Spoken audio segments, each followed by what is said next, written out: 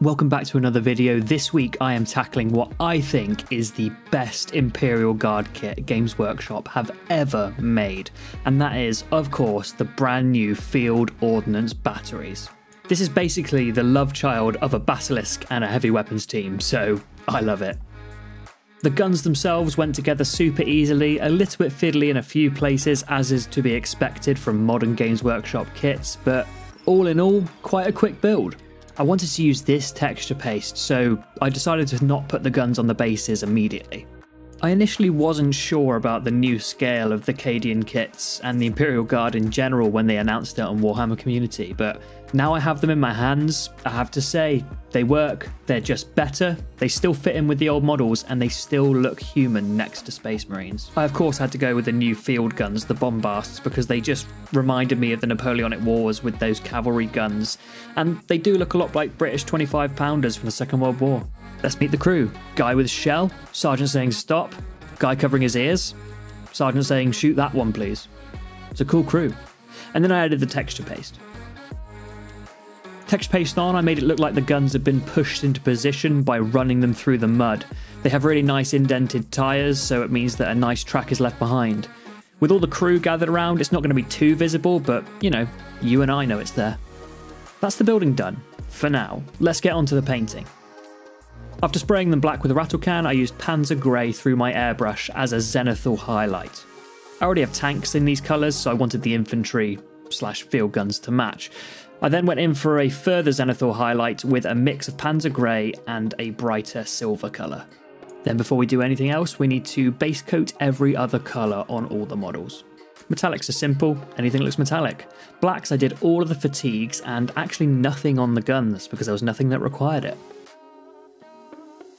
To break up all that black and grey, I went in with Rhinox hide for a nice brown rich leather. I don't want to know how many cows or space equivalent of cows had to die to outfit the entire regiment, slash most of the Imperial Guard. Using the same brown, we're going to do our first round of chipping.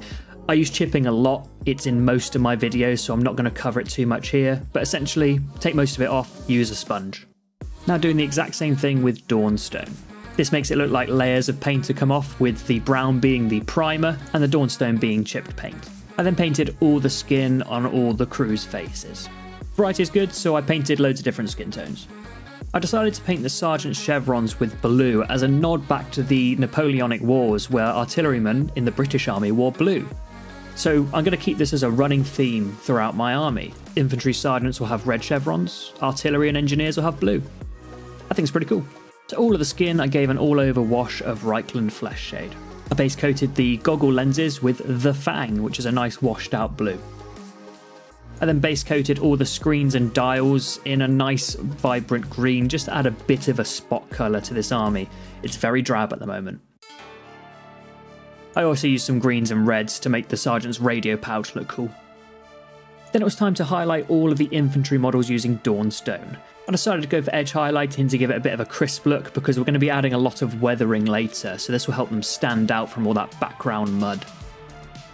The details on these models are really sharp, so edge highlighting was actually a really enjoyable exercise this time. Then using Mournfang Brown, I did a messy highlight all over the leather. You don't need to be as neat with leather because it has loads of shifting tones, and if you look at it closely, it's full of scratches and stuff anyway, so easy to highlight. Then coming in with some Field Blue, which is a rough equivalent of Thunderhawk Blue from Citadel, I highlighted all the fatigues. Now the reason I used a blue rather than a grey to highlight the fatigues was to give it some visual differentiation from the armour, which is grey that's highlighted grey.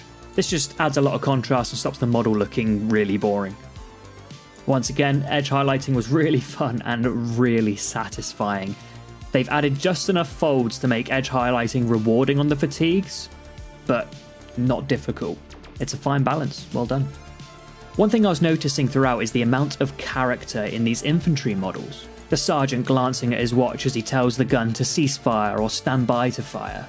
The one gunner covering his ears as the weapon fires is just an excellent bit of humanity that we don't get to see too often because it's full of demons and superhumans.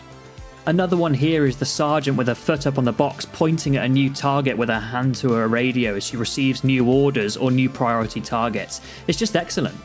But enough of that, back to the hobby. Using an enamel paint now, in this case a handy dandy little bottle from Tamiya, which is panel liner black, I added shadow all over the models. This is really easy to do and I use it for my white scars and it's just such a great way to add contrast with very little effort. If you want it to be clean, make sure you gloss varnish beforehand. I don't care in this case, it's a battle damaged gun, so get messy. And the final thing on the guns before weathering is to add my transfers so I can add weathering over the top. I also painted all the loose shells with Runelord brass, which is an excellent colour, being brass, for brass. I also painted Shellman's shell that he's carrying. I presume it's his friend. Now, earlier, whilst I was blathering on about how great this sculpt is and how great the miniatures are, I base coated these boxes with Wyldwood. Now I'm coming in with Mournfang Brown to add some wood grain to the top. And the next stage of that is to add in some Zandri dust and do the exact same thing again, and that's the boxes done. I'm actually really quite pleased how these boxes turned out for such minimal effort. Wyldwood, Mournfang Brown and a sharp brush, same again with Zandri Dust right over top.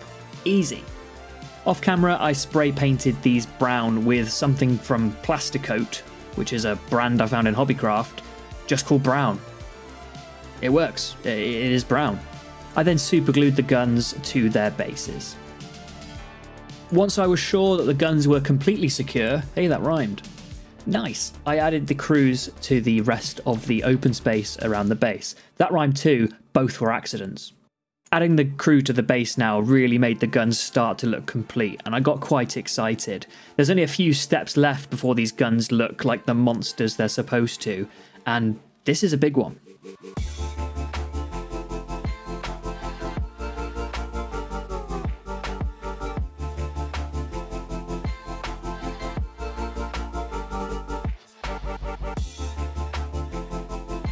Next, to blend the guns into the ground, I added a mix of some texture paste and some random brown paint I had lying around. It's just the cheap squeezy tube of paint, which is excellent for this application. Originally I was using it just to blend the feet of the gun in, but then I decided to add it to the feet of the guardsman and also splodge it around in a few random patterns all around the base, near the boxes and the like. And then the mud looks a bit more interesting, a bit more two-tone. I also made sure to cover the wheels completely. This gun's been rolled forward in the muck. It's going to be absolutely covered in the stuff.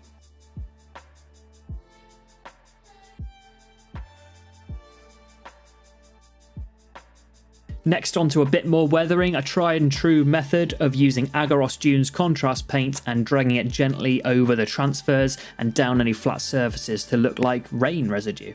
I then used Agrax Earthshade and Druchii Violet in turn on the end of the barrels to make them look a bit burned. Next, whilst I was waiting for the guns to dry ready for their second round of weathering, I cleaned up the base rims. There's nothing left to paint on the bases, so this is as good a time as any. Next I came in with a bright silver highlight for the edges of the main gun. This is great for vehicles, especially in conjunction with chipping as it makes them look heavy and, well, as realistic as I can make it. I was going to say as realistic as possible, but I've seen Night Shift. Next, back to enamels, we're using some earth effects to add a patina to the bottom of the weapon. Am I using that word right? I also use this as another layer for the guardsman's boots. Using a dabbing motion, I added a bit of splatter further up as well, just to make it look more combined. Using some black pigment, I added some soot at the end of the barrels. I was quite excited to do this, but I don't know if the end result actually means we can see it at all. Now using some more enamels, streaking grime for Panzer Grey, which is perfect because that was our base coat, I applied this fairly generously across the face shield and a few areas of the gun and carriage. Once that was applied, I took most of the paint off the brush and came back in and used a streaking motion, because it's streaking grime, to drag it down the weapon. You'll notice now there's a lot more layers and intricacy in the details, which didn't require that much effort. Getting near the end now, using one of our final enamels, we used dust effects. I used this very lightly in just a few areas.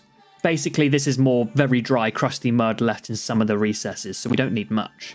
Moving on to rust, we're also going to add this very lightly in a few areas. It's very important not to get carried away with rust on active vehicles like this. These aren't hulks, these are weapons of war that are being maintained and are being used. With this in mind, I added this only to areas with bare metal or areas that aren't integral to the function of the gun. Thought the bases were looking a tiny bit bare and they could definitely use some sandbags. These are resin and they're from March of War. Link below in the description. I just sprayed them with Zandri dust, threw some Agrax on, good to go. They were safely super glued to the base, I had to make sure they were blended with the base and the scene, so I did the exact same thing I did when I pushed the gun onto the bases. That is, add mud in the form of texture paste and also some enamels afterwards. Point to note about enamels, you can't clean your brush with water afterwards and you can't wipe them off with water. You have to use mineral spirits, but goodness me are they worth it. Now I was really inspired by the guy who's covering his ears, so I decided to 3D print some muzzle flash. This will really help me sell the model as my own. I also printed off some smoke that I put on the weapon that's just been told to cease firing. Now after priming, I painted this muzzle flash with yellow, and we're going to come back to that in just a second. But in between, because I love doing things out of order, I covered this in Basilicanum Grey for a nice smoky effect. Back to our muzzle flash, I decided to use contrast paints, yellow, then orange, then red, and then go back into the deepest areas with the brightest colour, because that's how flame works. As I added more and more layers, I realised I really wasn't liking where this was going. It was just looking like some weird Christmas tree. Now it's okay to make mistakes. It's okay to basically finish painting an entire section of a model and decide you don't like it. I got to this point where I was adding Screaming Skull into the recesses where I thought it looked crap. So I let it dry, I took it outside and sprayed it with Wraithbone and started again with a different method. That method, the one I should have been using the entire time, is dry brushing. Well, actually, the first couple of layers were an overbrush, but give me a break. I basically went through similar colours, bright yellow, all the way through to a fairly bright red, and then a tiny bit of black to add a sooty atmosphere to the outside, which helps sell it as smoke. And I could tell from the get go as I worked through the stages that this was a much better attempt at a muzzle flash. To the point I'm actually really pleased with it, and it's what I envisioned in my head when I started this project. I also added similar colours, starting at the darkest, moving through to the brightest in this situation on the barrel to make it look like object source lighting, a flash from the barrel.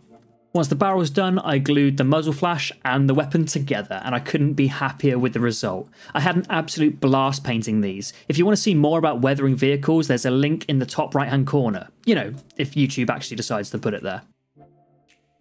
Anyway, that'll do it for this week. This is my favourite Imperial Guard kit ever. I've been Sam. I hope you enjoyed. See you next time.